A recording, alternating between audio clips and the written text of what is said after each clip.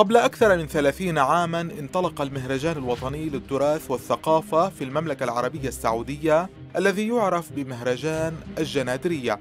ومنذ العام 1985 أصبح المهرجان الذي يقام تحت إشراف وزارة الحرس الوطني السعودي طقسا سنويا. يجذب مئات الآلاف من السعوديين والعرب. الفنان الراحل طلال مداح والكبير محمد عبده.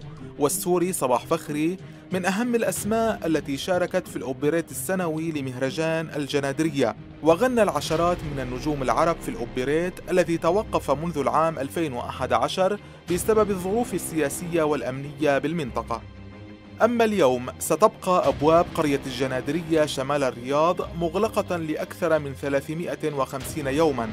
حتى يحين موعد النسخة الثانية والثلاثين من المهرجان السنوي الذي استقطب في نسخته الأخيرة أكثر من ستة ملايين زائر وقدمت الجنادرية طوال 16 يوما أجواء ثقافية ممزوجة بالماضي. ورغم الأجواء الباردة والطقس المتقلب في الرياض وفد الزوار إلى أجنحة المهرجان وقاعاته ومسارحه المفتوحة التي احتضنت معروضات شعبية وتراثية.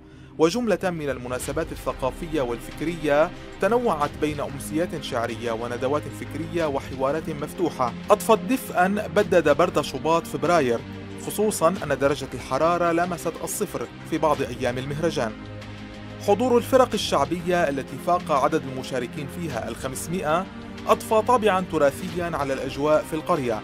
من خلال العروض والفنون الشعبية التي قدمت طوال أيام المهرجان. وتزينت أرض الجنادرية بالحرف اليدوية التي تولى العمل عليها أكثر من 300 حرفي وحرفية. وشهد هذا العام تطبيق فكرة عربات الأطعمة المتنقلة بأيد سعودية شابة.